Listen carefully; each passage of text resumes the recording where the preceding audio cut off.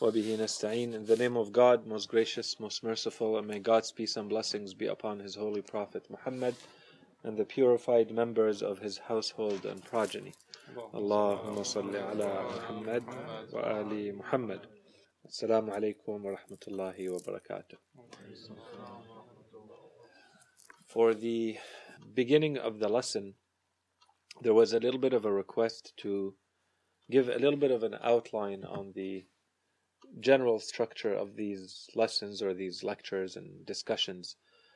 So I thought I'd take maybe two, or three minutes just to explain what I think is going to be the, the outline, at least of the topics that we're going to be addressing. And then, depending on your level of interest in them and how much questions and discussion we get for all of each of them, we'll decide how many lectures we spend on on each one of the topics. So if topics where we get a lot more discussion, a lot more questions, they're probably going to deserve to go a lot more in depth and to talk about things in a lot more detail. Those that we can skim over quickly and just give an overview, where an overview is enough, they would probably be limited to perhaps one lecture or one lesson, one discussion. So, as you guys have seen, we started talking about the importance of religion, and between this session and the next, you'll see that inshallah we're going to finish this topic of the relationship between reason and faith, and we'll also talk about this next topic, which is the different types of knowledge that we have and their place in the big picture of knowledge, all the types of knowledge we have, and their functions or functionality, how we use them, what they're useful for, what are the tools that we need for each one of them, and what are the objects that we study with each of them.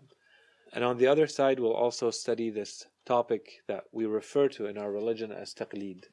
So we need to understand what taqlid actually means and how it fits into this picture of using our reason, rationality, our logic when we approach religion. So, can we really follow blindly someone else or not? And how are these two compatible? Once these few topics are out of the way, we'll get into the topics that are usually studied in the field of aqa'id or theology, the belief system. So we'll start talking about the proofs for the existence of God, the attributes of God, and one of the biggest ones, and it causes a lot of questioning and doubts and confusion, is a specific attribute of justice. So when we say Allah subhanahu wa ta'ala is just, what does it mean? And the big topics that we usually study under those is the issue of evil in the world and also the issue of free will. Do we have free will or not? And why is there evil in the world? So those two are studied under the end of the attributes of God, which is al-adl, divine justice. Then we move on to the big topic that is usually referred to as nubuwwah, so the study of prophethood. So we started that one by studying the importance of religion and why do we need religion in a different way than what we've talked about until now. And then we'll start talking about the importance of why do we say that Allah subhanahu wa ta'ala has sent people with a message to humanity. So the prophets. Who are the prophets? What are their general attributes? And this whole issue of isma or infallibility is also studied there as well as the notion of miracles and what constitutes a miracle and how do we know whether it's a real miracle or not. And of course, here we can decide together as a group when we'll reach that topic whether we want to spend a little bit more time specifically about our own prophet and our own prophet's miracle, which is the Holy Quran, or do we just give a quick overview and keep going in the lessons and then we can come back after we give the whole overview and give a lot more detail about the life of our Holy Prophet and studying the, the Holy Quran. Once we understand the importance of prophethood and the big proofs, demonstrations to prove that there are messengers, apostles, prophets sent by God, and what are their attributes and what miracles are, and how we study them, we go into the topic of imamah. And we understand what are the big proofs, what's the discord or disagreement among Muslims about this topic of imamah. What do the Muslims in general say? What do they agree on and what do they disagree on that makes them fall into different schools of thought?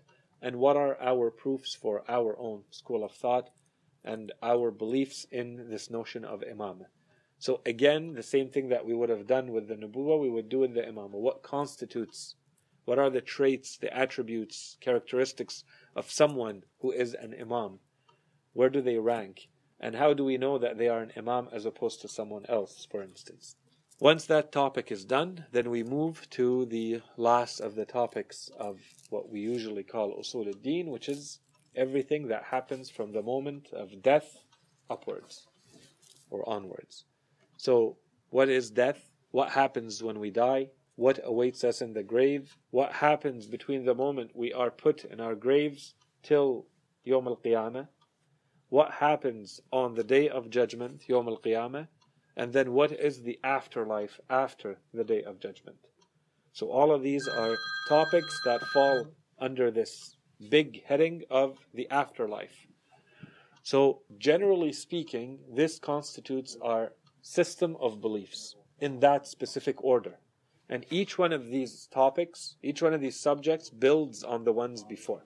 So when you miss, you're going to miss a part of the demonstration. You're going to miss a part of the, the, the system.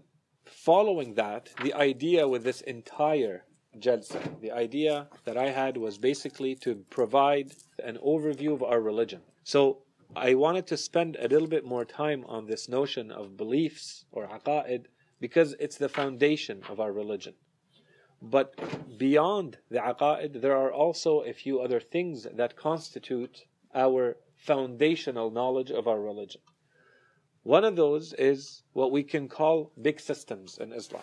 So the biggest one that is relevant to us is the system of laws in Islam.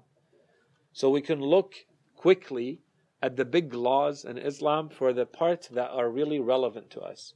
For instance, tahara or purity in Islam. For instance, prayer, fasting, charity, both zakat and khums, pilgrimage. These are the big chapters in Islamic law that we can look at as an overview.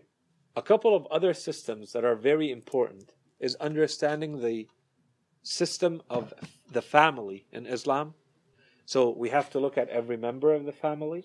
So the man, the woman, the, the children, and their roles. So within the family and within society. What does Islam say about all of this?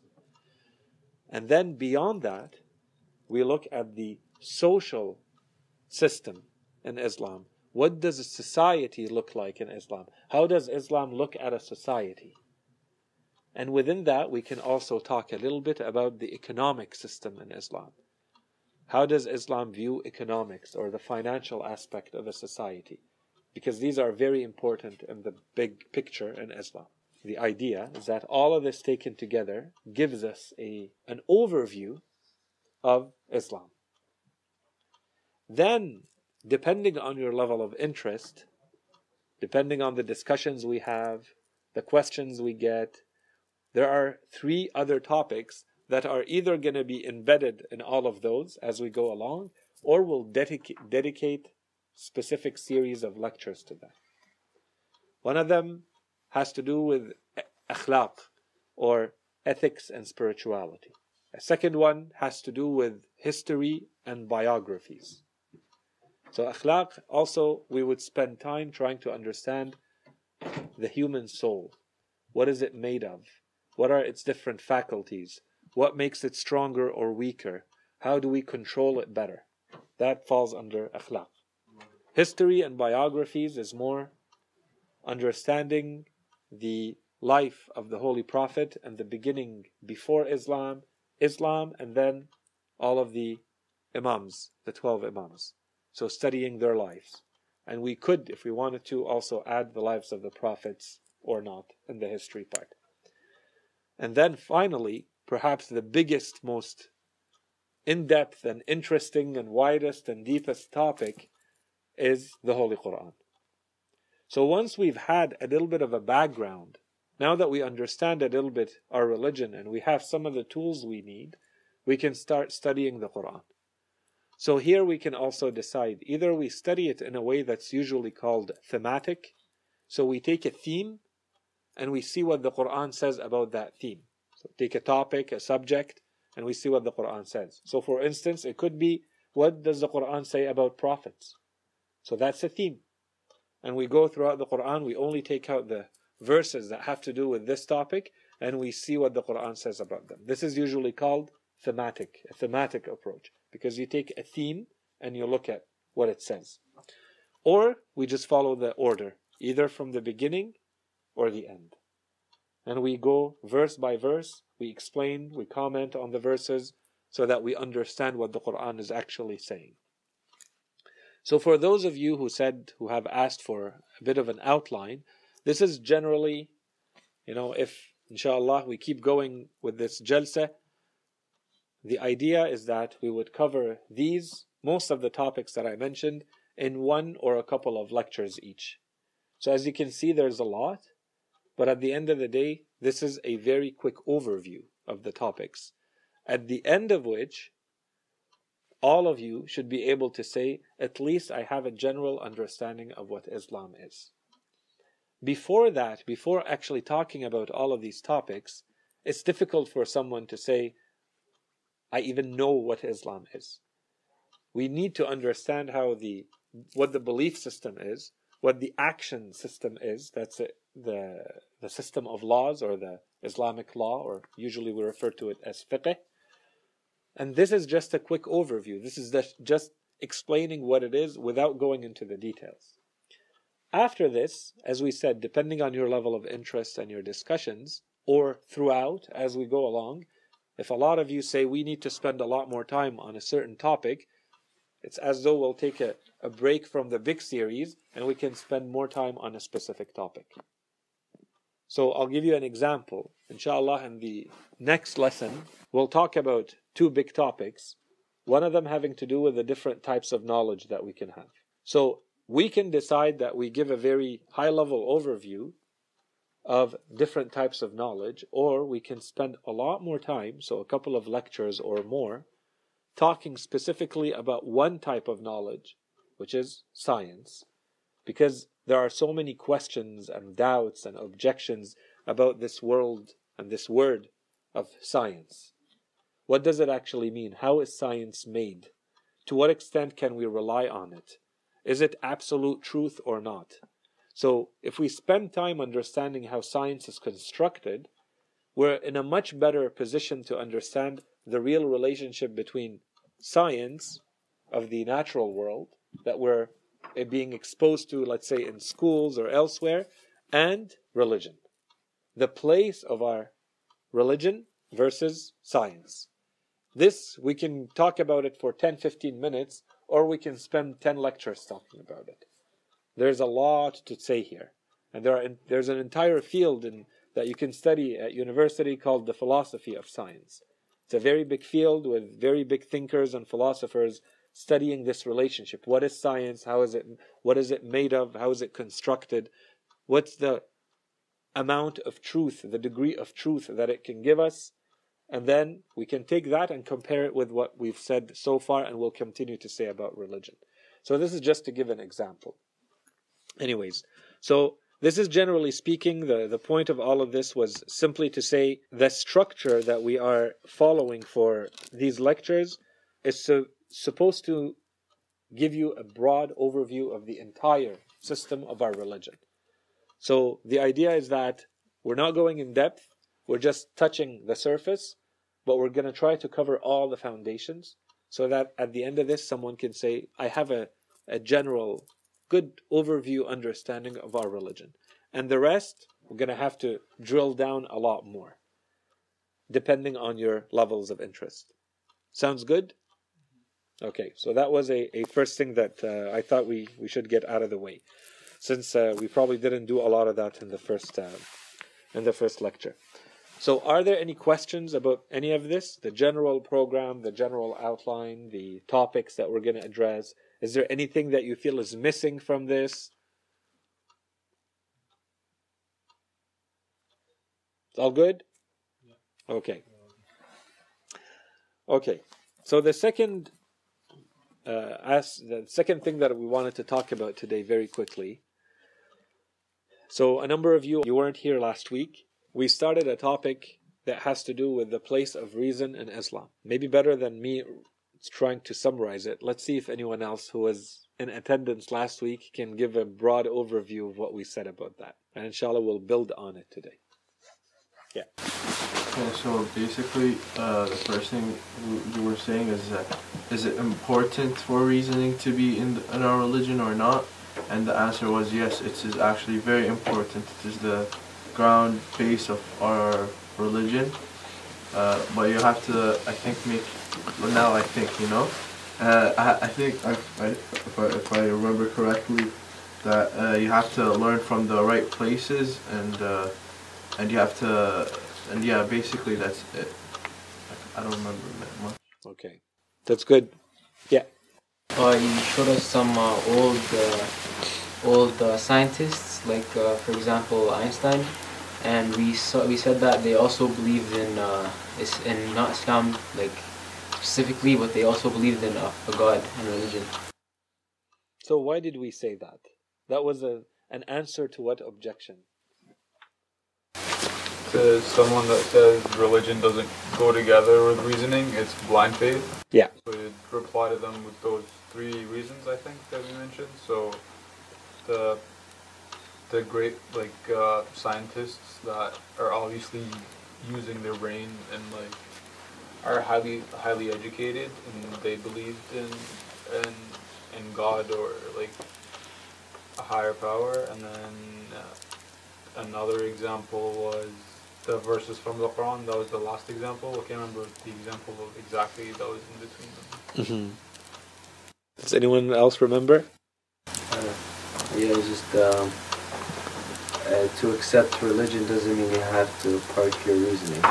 So you can accept reasoning and religion at the same time. And Islam actually promotes reasoning uh, a lot more than uh, than usual than other religions, and Uh, it tells you to use your reasoning a lot more. Yeah. So to fill your your second one, and it's a little bit what you said, which is basically the majority of people, the, the masses, anyone that you talk to, will say, I'm not ready to park my reasoning. It's not reasonable to expect someone to not use their logic. And what we tried to do next was what you refer to, which is we went through the Holy Quran and we identified a few categories of verses that that are spread out throughout the Quran that talk about different ways the Quran is asking people to use their minds and their brains, their reasoning, rationality, logic. So, do you remember some of those ways that the Quran asked us to use our reasoning? Yeah. Uh, I remember some of them. Uh, one of them is. Uh, uh, it says in the Quran, like, don't you question how uh, the bee goes through all the processes of it to get the uh, a natural medicine for a human being?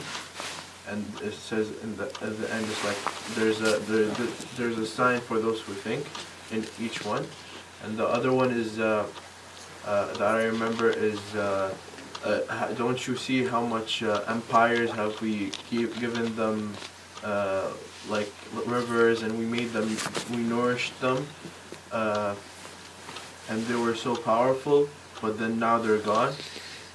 But and there's so many, there's so many, and then at the end it says there is a there is a sign for those who look at history in that, and uh, yeah, those are the two I remember. Those two are, are very good. So we said one category for and an example that we use is the natural signs. So Allah subhanahu wa ta'ala has created this universe in a way that everything is a sign pointing to Him. If you look at everything in the universe, there's a way to look at it that you only look at the thing itself. But there's another way to look at it where you see that this is a sign pointing towards God. You have to, it, it has to make you think beyond what you're seeing. The more you study it, the more you understand it, the more it makes you realize that it's pointing towards a creator. And we said that everything in nature, the Holy Quran teaches us about everything in nature being of that kind. So the first category, for instance, the bees fall in that category, where the Quran talks about the bees, as it talks about the heavens and the earth and the mountains and the rain and the night and day and the moon and the sun and so on and so forth. Right? We we read a number of verses in that category. A second category was don't forget, what we're trying to do is to look at different ways the Quran is ordering us to use our minds. So one of them is to study nature. Another one is to study history. Because the Quran says, do they not know? Do they not see? Do they when they walk through the remnants, the traces that are left by previous empires, previous nations, do they not see that they were even more powerful than you are? Do they not see that we had given them even more power than we have given you? Are you not going to take any lessons out of that? What happened to them? Why do they not exist today? Okay, so this is a second category. Does anyone remember a, a few other categories of, of ways the Quran is trying to force us, commanding us, instructing us to use our minds? Um, I remember also the one uh, where he uh, he says about the the, the sky and night, and, uh, and yeah. That's nature. That's all nature. That's all signs of nature. They're good. We did mention them, but that was all one category. And another category was history. Another category was just thinking in general. The Quran does promote knowledge in general. It says, هل يستوي الذين يعلمون والذين لا يعلمون Do those who know and those who do not know, can they, can you, can they be equated? Can they be considered equal? Those who know, those who have knowledge and those who do not have knowledge? And it does that a lot in the Quran. Throughout the Quran it does that. So that's the general verses. More than that, the Quran says, and of course it's speaking very negatively about those people, it says there are people who follow conjecture. And we explained what conjecture is. We said there are people who follow things that are doubtful. Doubtful in the sense that you're only certain of it to 60%, to 80%. The Quran says this is unacceptable in matters of belief. You have to have 100% certainty. And the majority of people, they are mistaken because they fall in the category of simply following conjecture, of dhann. The Quran talks again and again about dhann in whom إلا يخرصون. It says it's only conjecture. They're only guessing. So, and the Quran basically says this is all wrong. Never follow those who only follow conjecture. What do they know? They only follow guesswork and conjecture. Okay, so that was another way where the Quran, this is more in a negative way. The Quran is saying, on the one side, telling us how to use our minds and what to do with them and about what. And on the other side, it's telling us what's not to do. So one way is do not rely on conjecture. You have to be 100% sure. Another way, the Quran says, do not be of those who simply follow what their parents taught them. Following blindly what your parents taught you. Now we may think our parents know and they're good and we're supposed to respect them and the Quran says yes you respect them but respecting them and obeying them has nothing to do with following the truth. The Quran wants you to use your own mind and your own reasoning to reach the truth. And it says there are those who, when you try to tell them this is the truth, follow the truth, they say we're going to follow what we found our parents doing. And then the Quran comes back and says, but their parents do not know anything. So this is another category of verses in the Quran that are telling us how to not use our mind, which again comes back to reasoning and logic. And then we have the verses of the Quran that we said specifically talk about the Quran itself. So there are verses of the Quran that say you have to study the Quran. The Quran requires a deep introspection, a deep reflection, a deep studying. Right? أَفَلَا يَتَدَبَّرُونَ We said the word. It's not just looking at it quickly. It's not looking at it at the surface. So it's inviting everyone not to take it for granted, to take it at surface value, at face value. You read the Quran and you accept. The Quran doesn't want that from people. It says if someone wants to accept it, it, it needs to be based on deep, real studying and reasoning. So these were the big categories of verses that each of them, from a different angle, show us, insist on the role of reason from a different angle. So for someone after that to come and say reason and religion are not compatible, or that Islam, for instance, expects people to follow blindly, it's someone who really doesn't understand what the Quran actually says about reason. And as we said, if you put all of these verses together, they are in the hundreds. There's probably four to five hundred verses in the Quran that fall in these six or seven categories. That's a lot of verses. One, one verse could have been enough to say the Quran says, follow your reason. So when the Quran has hundreds of verses, obviously this is a very important topic in the Quran. Right. Right? This part is clear? Okay. So uh, not only that, the, it's a question nature. Okay. And then uh, in English I'm not very good, but uh, yeah, he gives you a يضرب الأمثال based on those two. So when you you can all match them all together. الأمثال based on the nature. Yes. And based on the questioning part. That, and that's a very good point. And usually that goes under the first one, which is the importance of reasoning in general. We didn't go into it, but that's a very big topic.